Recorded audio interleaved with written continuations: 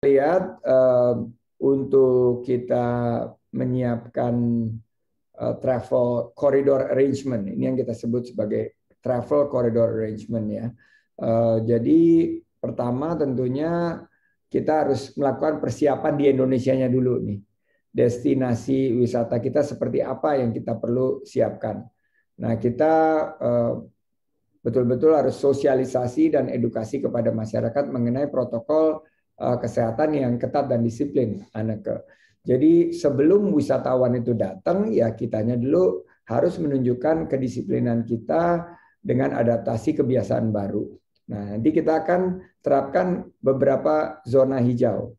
Eh, di Bali misalnya ada tadi saya sebut Nusa Dua, Sanur dan Ubud. Dan di Batam dan Bintan itu di Lagoy untuk Bintan dan Nongsa untuk Batam.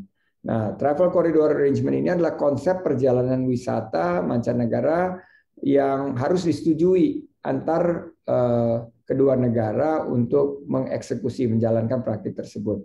Dan seandainya dibuka tentunya kita harapkan angka COVID-19 bisa ditekan dan uh, angka COVID-19 untuk penularannya bisa terkendali.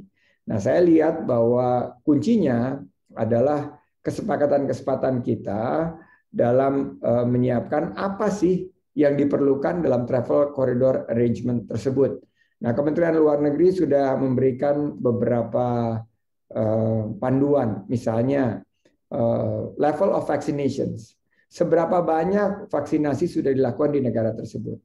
Terus level of infection, seberapa tinggi penurunan angka COVID-19. Kalau kita lihat India misalnya, kan kemarin kita bicara travel corridor region sama India, tapi per hari ini 184 ribu eh, kasus baru eh, COVID-19 di India. Tentunya itu eh, masuk ke dalam kategori yang sangat buat kita harus kita pertimbangkan sebelum membuka.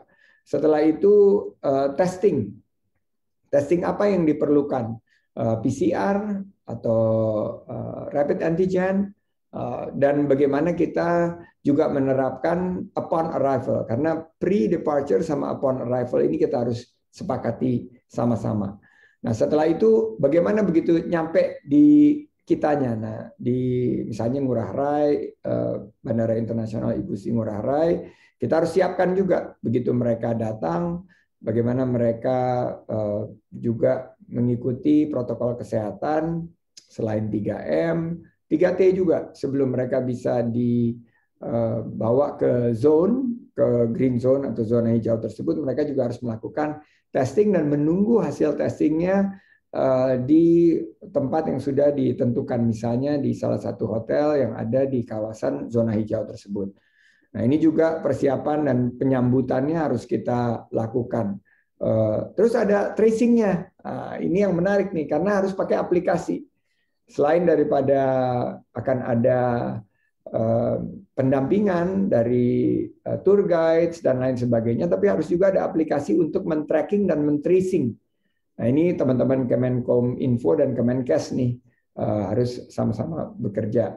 Nah setelah itu bagaimana program asuransi yang all risk? Seandainya sakit di begitu mereka sampai di Indonesia, siapa yang menanggung? Nah ini harus ada program asuransinya. Ini kita kerjasama sama OJK. Dan tentunya karena ada um, green zone ini apakah kita tidak perpanjang uh, lama tinggalnya mereka di zona hijau tersebut karena udah capek banget datang ke sini pakai segala macam. Nah, kemarin Kemenkumham sudah memberikan indikasi akan memperpanjang dari 30 hari menjadi 60 hari. Dan regulasi lalu lintas orang asingnya ini akan dibuat visanya uh, tentunya sesuai dengan langkah kita menerapkan travel corridor arrangement. Terakhir, regulasi persyaratan kesehatan orang asing. Nah ini tentunya dari Satgas eh, COVID-19 dengan surat edarannya kita harus pastikan. Sehingga eh, kalau kita lihat secara holistik, ini ada penanganan pandemik daerahnya harus kita selesaikan.